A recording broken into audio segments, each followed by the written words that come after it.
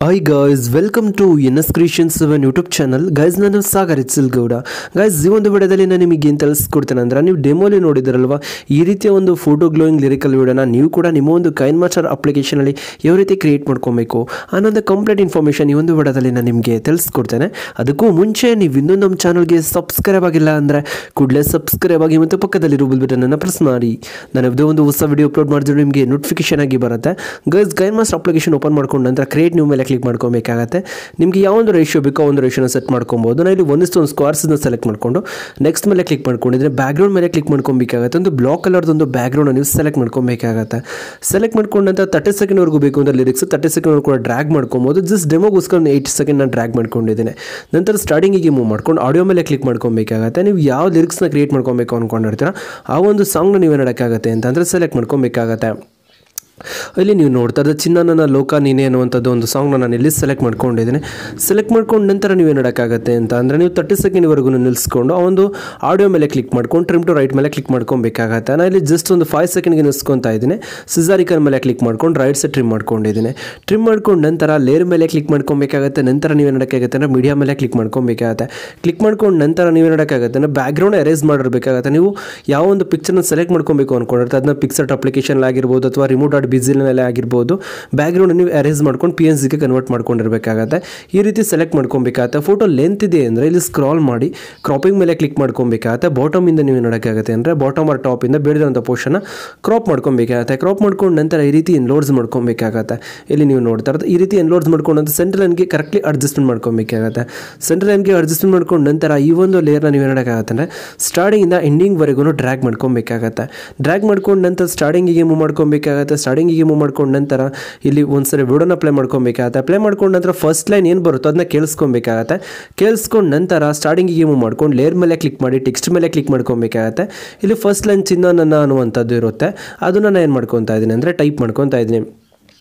Type ಮಾಡ್ಕೊಂಡು add ಮಾಡ್ಕೊಂಡು ಅಂತ ಸೆಂಟ್ರನ್ಗೆ ಅಡ್ಜಸ್ಟ್ ಮಾಡ್ಕೊಂಡು ಬಾಟಮ್ಗೆ ತೊಗೊಂಡು ಬರಬೇಕಾಗತ್ತೆ. ಮತ್ತು ಇಲ್ಲಿ ಫಾಂಟ್ ಇರುತ್ತಲ್ಲ ಫಾಂಟ್ ಮೇಲೆ ನೀವು ನೋಡೋಕ್ಕಾಗತ್ತೆ ಅಂದರೆ ಕ್ಲಿಕ್ ಮಾಡ್ಕೊಬೇಕಾಗತ್ತೆ. ಕ್ಲಿಕ್ ಮಾಡ್ಕೊಂಡು ನಂತರ ನಿಮ್ಗೆ ಯಾವೊಂದು ಸ್ಟೈಲಿಶ್ ಫಾಂಟ್ ಇರೋದು ಇಷ್ಟ ಆಗುತ್ತಾ ಆ ಒಂದು ಸ್ಟೈಲಿಶ್ ಫಾಂಟ್ ನೀವು ನೋಡೋಕ್ಕಾಗತ್ತೆ ಅಂದರೆ ಸೆಲೆಕ್ಟ್ ಮಾಡ್ಕೊಬೇಕಾಗತ್ತೆ. ಇಲ್ಲಿ ನೀವು ನೋಡ್ತಾ ಸೆಲೆಕ್ಟ್ ಮಾಡ್ಕೊಂಡಿದ್ರೆ ಸೆಲೆಕ್ಟ್ ಮಾಡ್ಕೊಂಡು ನಂತರ ಈ ರೀತಿ ಇನ್ಕ್ರೀಸ್ ಮಾಡ್ಕೊಂಡು ನೀವು ಒಂದು ಲೇಯರನ್ನು ಸ್ಟಾರ್ಟಿಂಗಿಂದ ಎಂಡಿಂಗ್ವರೆಗೂ ಡ್ರ್ಯಾಗ್ ಮಾಡ್ಕೊಬೇಕಾಗತ್ತೆ.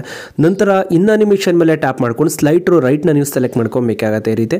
ಮತ್ತೆ ಟಿಕ್ ಮಾರ್ಕ್ ಮೇಲೆ ಕ್ಲಿಕ್ ಮಾಡಿ, ಅದೇ ಲೇಯರ್ ಮೇಲೆ ಕ್ಲಿಕ್ ಮಾಡಿ ಔಟ್ ಅನಿಮೇಷನ್ ಮೇಲೆ ಕ್ಲಿಕ್ ಮಾಡಿ ಸೇಮ್ ನೀವು ನೋಡೋಕ್ಕಾಗತ್ತೆ ಅಂದರೆ ಸ್ಲೈಟ್ ಟು ರೈಟ್ ನೀವು ಆ್ಯಡ್ ಮಾಡ್ಕೊಬೇಕಾಗತ್ತೆ ಆ್ಯಡ್ ಮಾಡ್ಕೊಂಡು ನಂತರ ಈ ಒಂದು ಲಿರಿಕ್ಸ್ ಕಂಪ್ಲೀಟ್ ಆಗಿದ ತಕ್ಷಣ ಔಟ್ ಆನಿಮೇಷನ್ ಪರ್ಫೆಕ್ಟ್ಲಿ ವರ್ಕ್ ಆಗುತ್ತೆ. ನಂತರ ಚಿನ್ನ ನನ್ನ ಫಸ್ಟ್ ಲೈನ್ ಎಲ್ಲಿಗೆ ಸ್ಟಾಪ್ ಆಗುತ್ತೋ ಅಲ್ಲಿಗೆ ನಿಲ್ಲಿಸ್ಕೊಂಡು ಟೆಕ್ಸ್ಟ್ ಲೇಯರ್ ಮೇಲೆ ಕ್ಲಿಕ್ ಮಾಡಿ ಸಿಸರ್ ಐಕನ್ ಮೇಲೆ ಕ್ಲಿಕ್ ಮಾಡಿ ಇಲ್ಲಿ ಥರ್ಡ್ ಆಪ್ಷನ್ ಇರುತ್ತಲ್ಲ ಸ್ಪ್ಲಿಟ್ ಇರುತ್ತಲ್ಲ ಸ್ಪ್ಲಿಟ್ ಮೇಲೆ ನೀವು ನೋಡೋಕ್ಕಾಗತ್ತೆ ಅಂದರೆ ಕ್ಲಿಕ್ ಮಾಡ್ಕೊಬೇಕಾಗತ್ತೆ.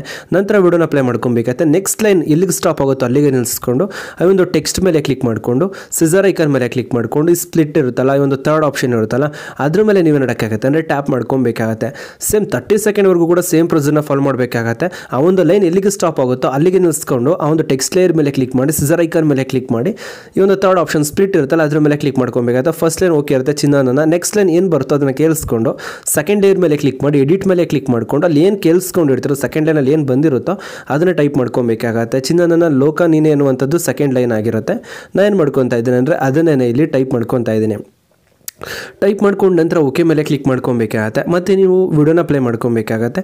ನೆಕ್ಸ್ಟ್ ಥರ್ಡ್ ಲೈನ್ ಏನು ಬರುತ್ತೋ ಅದನ್ನು ಕೇಳಿಸ್ಕೊಂಡಿರ್ತೀರಲ್ಲ ಥರ್ಡ್ ಲೇಯರ್ ಮೇಲೆ ಕ್ಲಿಕ್ ಮಾಡಿ ಎಡಿಟ್ ಮೇಲೆ ಕ್ಲಿಕ್ ಮಾಡಿ ಇರುವಂಥದ್ದನ್ನು ಡಿಲೀಟ್ ಮಾಡಿಕೊಂಡು ಅಲ್ಲಿ ಏನು ಕೇಳಿಸ್ಕೊಂಡಿರ್ತೀರೋ ಅದನ್ನು ನೀವು ನೋಡೋಕ್ಕಾಗತ್ತೆ ಅಂದರೆ ಮತ್ತೆ ಇಲ್ಲಿ ಟೈಪ್ ಮಾಡ್ಕೊಬೇಕಾಗತ್ತೆ. ಇಲ್ಲಿ ನೀವು ನೋಡ್ತಾ ಇರೋದು, ಇಲ್ಲಿ ನಾನು ಟೈಪ್ ಮಾಡ್ಕೊತಾ ಇದ್ದೀನಿ. ಟೈಪ್ ಮಾಡ್ಕೊಂಡು ನಂತರ ಇಲ್ಲಿ ಓಕೆ ಮೇಲೆ ನೀವು ಕ್ಲಿಕ್ ಮಾಡ್ಕೊಬೇಕಾಗತ್ತೆ. ನೀವು ತರ್ಟಿ ಸೆಕೆಂಡ್ ಲಿರಿಕ್ಸ್ನ ಕ್ರಿಯೇಟ್ ಮಾಡ್ತಿರಲ್ಲ ತರ್ಟಿ ಸೆಕೆಂಡ್ವರೆಗೂ ಕೂಡ ಸೇಮ್ ಪ್ರೊಸೀಜರ್ನ ಫಾಲೋ ಮಾಡಬೇಕಾಗತ್ತೆ. ಅಲ್ಲಿ ಕೇಳಿಸ್ಕೊಬೇಕಾಗತ್ತೆ ಇರುವಂಥದ್ದನ್ನು ಕ್ಲಿಯರ್ ಮಾಡಬೇಕಾಗತ್ತೆ, ಅಲ್ಲಿ ಏನು ನಾವು ಕೇಳಿಸ್ಕೊಂಡಿರ್ತೀವೋ ಆ ಒಂದು ಲೈನ್ನ ನಾವು ಟೈಪ್ ಮಾಡ್ಕೊಬೇಕಾಗತ್ತೆ. ಟೈಪ್ ಮಾಡ್ಕೊಂಡು ನಂತರ ಅಲ್ಲಿ ಓಕೆ ಮೇಲೆ ನೀವು ನೋಡೋಕ್ಕಾಗತ್ತೆ ಅಂದರೆ ಕ್ಲಿಕ್ ಮಾಡ್ಕೊಬೇಕಾಗತ್ತೆ. ಕ್ಲಿಕ್ ಮಾಡ್ಕೊಂಡು ನಂತರ ಮತ್ತು ಸ್ಟಾರ್ಟಿಂಗಿಗೆ ಏನು ಮಾಡ್ಕೊಂಡು ಸರ್ ಚೆಕ್ ಮಾಡ್ಕೊಬೇಕಾಗತ್ತೆ. ಪರ್ಫೆಕ್ಟ್ಲಿ ಈ ಒಂದು ಲಿರಿಕ್ಸ್ ನಮಗೆ ಬರ್ತಿದೆಯಾ ಅಂತ. ಇಲ್ಲಿ ನೀವು ನೋಡ್ತಾ ಪರ್ಫೆಕ್ಟ್ಲಿ ಇನ್ ಅನಿಮೇಷನ್ ಆಗಿರ್ಬೋದು ಔಟ್ ಅನಿಮೇಷನ್ ಆಗಿರ್ಬೋದು ಪರ್ಫೆಕ್ಟ್ಲಿ ಬರ್ತಾ ಇರತ್ತೆ. ನಂತರ ಸ್ಟಾರ್ಟಿಂಗಿಗೆ ಏನು ಮಾಡ್ಕೊಂಡು ಲೇಯರ್ ಮೇಲೆ ಕ್ಲಿಕ್ ಮಾಡಿ ಎಫೆಕ್ಟ್ ಮೇಲೆ ಕ್ಲಿಕ್ ಮಾಡ್ಕೊಬೇಕಾಗತ್ತೆ. ನ್ಯಾನೋ ಔಟ್ಲೈನ್ ಅಂತ ನೀವು ಗೆಟ್ ಮೋರ್ ಡೌನ್ಲೋಡ್ ಮಾಡಬೇಕಾಗತ್ತೆ. ಸ್ಟೋರ್ ಮೇಲೆ ಕ್ಲಿಕ್ ಮಾಡ್ಕೊಬೇಕಾಗತ್ತೆ. ಇಂಟರ್ನೆಟ್ನ ನೀವು ಆನ್ ಮಾಡ್ಕೊಂಡಿರ್ಬೇಕಾಗತ್ತೆ. ಆನ್ ಮಾಡ್ಕೊಂಡು ನಂತರ ಕಂಪ್ಲೀಟ್ಲಿ ಬಾಟಮ್ಗೆ ನೀವು ಆರ್ಟಿಸ್ಟ್ ಎಲ್ಲ ಸಿಗುತ್ತೆ. ಬಾಟಮ್ಗೆ ನೀವು ಸ್ಕ್ರಾಲ್ ಮಾಡಿದ್ರೆ ಅಂದರೆ ಅಂದರೆ ನ್ಯಾನೋ ಔಟ್ಲೈನ್ ಅಂತ ಇರುತ್ತೆ. ಇದನ್ನು ಸೆಲೆಕ್ಟ್ ಮಾಡ್ಕೊಬೇಕಾಗತ್ತೆ ಆ್ಯಡ್ ಮಾಡ್ಕೊಂಡ ನಂತರ ಅಲ್ಲಿ ನೀವು ನೋಡ್ತಾ ಇರೋದು. ಇವಾಗ ಏನಾಗ್ತಾ ಇರುತ್ತೆ ಅಂತಂದರೆ ಈ ಒಂದು ಪಿಕ್ಚರ್ ಕನ್ವರ್ಟ್ ಆಗಿರುತ್ತೆ. ನೀವೇನು ಮಾಡೋಕ್ಕಾಗುತ್ತೆ ಅಂದರೆ ಇಲ್ಲಿ ಟೆಕ್ಸ್ಟ್ ಇರುತ್ತಲ್ಲ, ಈ ಟೆಕ್ಸ್ಟ್ ಮೇಲೆಗಡೆ ಮೂವ್ ಮಾಡ್ಕೊಬೇಕಾಗತ್ತೆ ಆರ್ಟಿಸ್ಟ್ ರೀತಿ ಏನಾಗುತ್ತೆ ಅಂದರೆ ಕನ್ವರ್ಟ್ ಆಗಿಬಿಟ್ಟಿರುತ್ತೆ.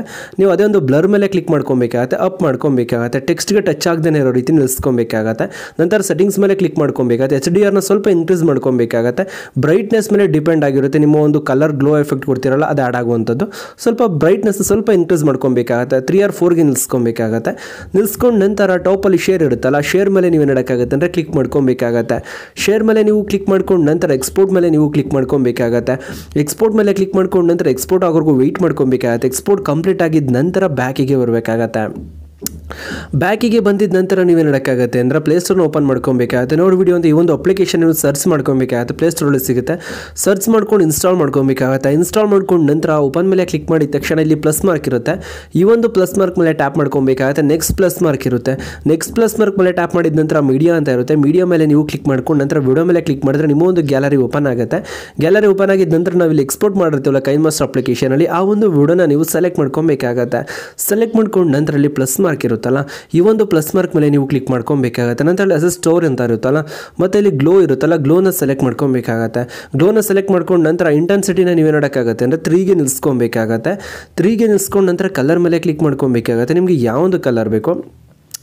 ಆ ಒಂದು ಕಲರ್ನ ನೀವು ನೋಡೋಕ್ಕಾಗತ್ತೆ? ಅಂದರೆ ಗ್ಲೋಗೆ ಆ್ಯಡ್ ಮಾಡ್ಕೊಬೇಕಾಗತ್ತೆ? ನಾನು ಇಲ್ಲಿ ಏನು ಮಾಡ್ಕೊತಾ ಇದ್ದೀನಿ? ಅಂದರೆ ರೆಡ್ ಕಲರ್ನ ಇಲ್ಲಿ ಸೆಲೆಕ್ಟ್ ಮಾಡ್ಕೊತಾ ಇದ್ದೀನಿ. ಸೆಲೆಕ್ಟ್ ಮಾಡ್ಕೊಂಡು ನಂತರ ಇಲ್ಲಿ ಸ್ಕ್ಯಾಟ್ರಿಂಗ್ ಅಂತ ಇರುತ್ತಲ್ಲ, ಅದನ್ನು ನೀವೇ ನೋಡೋಕ್ಕಾಗುತ್ತೆ? ಅಂದರೆ ಸಿಕ್ಸಿಗೆ ನಿಲ್ಸ್ಕೊಬೇಕಾಗತ್ತೆ? ಇಲ್ಲಿ ನೀವು ನೋಡ್ತಾ ಇರೋದು ಸಿಕ್ಸಿಗೆ ನಿಲ್ಸ್ಕೊಂಡಿದ್ದೀನಿ. ನಿಲ್ಸ್ಕೊಂಡು ನಂತರ ಮತ್ತೆ ಇಲ್ಲಿ ಪ್ಲಸ್ ಮಾರ್ಕ್ ಮೇಲೆ ಕ್ಲಿಕ್ ಮಾಡ್ಕೊಬೇಕಾಗತ್ತೆ? ಸ್ಟೋರ್ ಮೇಲೆ ಕ್ಲಿಕ್ ಮಾಡ್ಕೊಬೇಕಾಗತ್ತೆ? ಇಲ್ಲಿ ನೇಚರ್ ಅಂತ ಇರುತ್ತೆ. ನೇಚರ್ ಮೇಲೆ ಟ್ಯಾಪ್ ಮಾಡ್ಕೊಬೇಕಾಗತ್ತೆ?